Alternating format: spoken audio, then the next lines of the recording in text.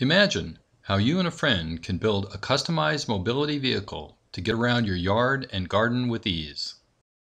The wooden off-road wheelchair is designed to be constructed locally by the user and a carpenter in a few days using local materials, tools, and skills for less than the cost of a used bicycle anywhere in the world.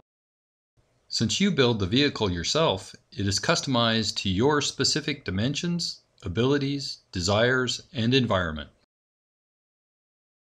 The WOW's unique design allows you to operate seated or face down for improved productivity and comfort in the largest of gardens.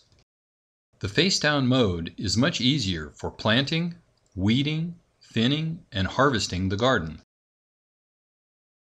The large wheels, waxed wood bearings, and good ergonomics allow you to move through soft dirt easily.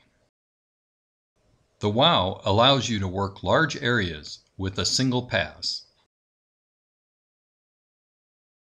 As the plants grow, you can still access the garden with its large wheels and high center ground clearance.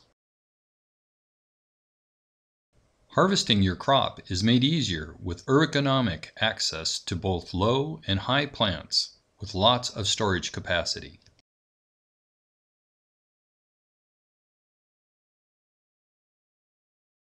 One of the unique features of the WOW is the ability to transition from seated to face-down operation.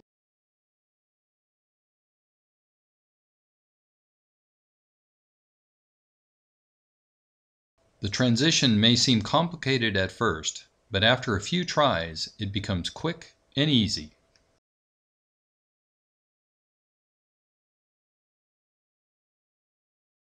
Reclining is simple with the hinged seating and anti-tip stop. The brakes are applied when you press on the armrest and can be locked in place.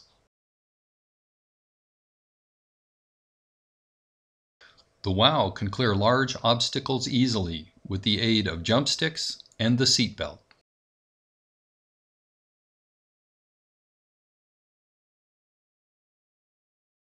Here is a 360 degree view to help in your construction.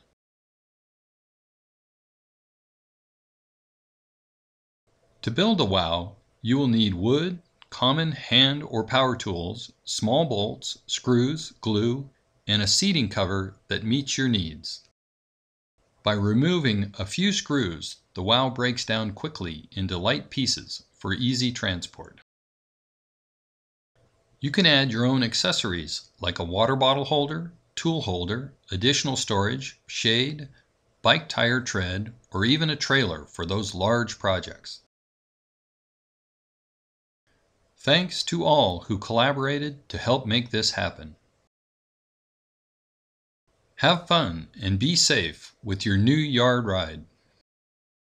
If you have questions or suggestions for improvements, please contact us at the website below. We welcome your advice.